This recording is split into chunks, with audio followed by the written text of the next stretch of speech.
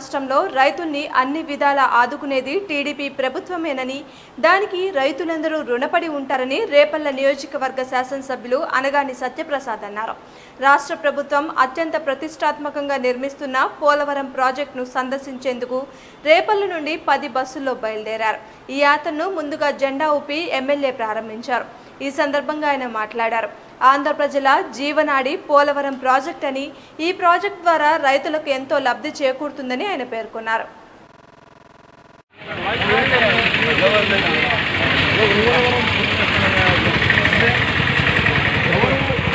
విధంగా తక్కువ సమయంలో గౌరవ ముఖ్యమంత్రి గారు ఈ కూడా ఈ కూడా చేయాలని చెప్పి ఒక మంచి ఆలోచనతో పోలవరం యుద్ధ ప్రాతిపదికన చేపట్టిన సంగతి తెలిసిందే.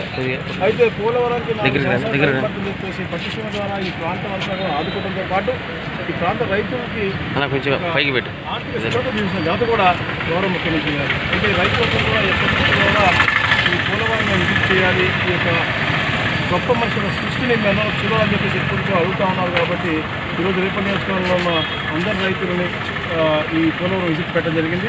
అనూహ్య స్పందన. ఎప్పుడు మేము ఊహించలేదు ఇంతమంది రైతులు ఇలా స్వచ్ఛందంగా వస్తారు అనేసి. మేము పది బస్సులు ఇప్పుడు పెడితే పది బస్సులు యాభై బస్సులు కదా రెడీగా ఉన్నటువంటి పరిస్థితి మనం చూస్తూ ఉన్నాం.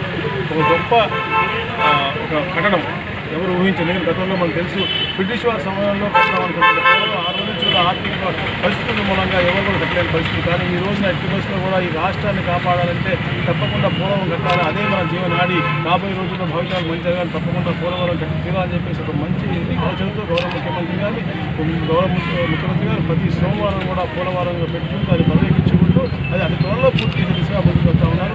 దానికి